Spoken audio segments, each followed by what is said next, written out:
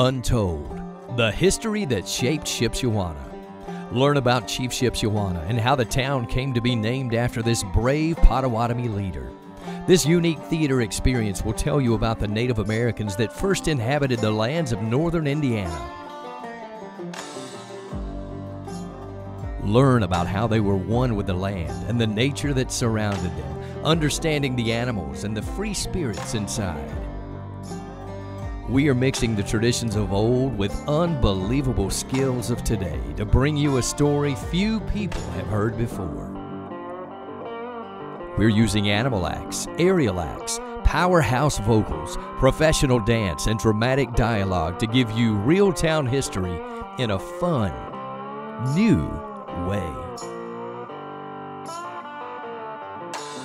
After the forced removal of the natives from their land, settlers arrived. The Davis and Summey families started building, both intent on starting their own town. Disagreements arose, feuds escalated.